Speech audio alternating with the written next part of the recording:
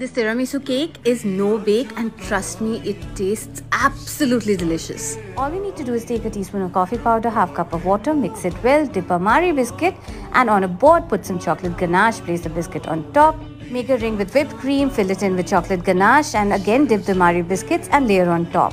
Repeat the layer to desired height, now cover with some whipped cream nicely and smoothen it out and the cake is almost ready. Pipe on some whipped cream, just sprinkle on some cocoa powder, garnish with chocolate shards and a cherry. Just look at the gorgeous layers in this tiramisu, it's amazing.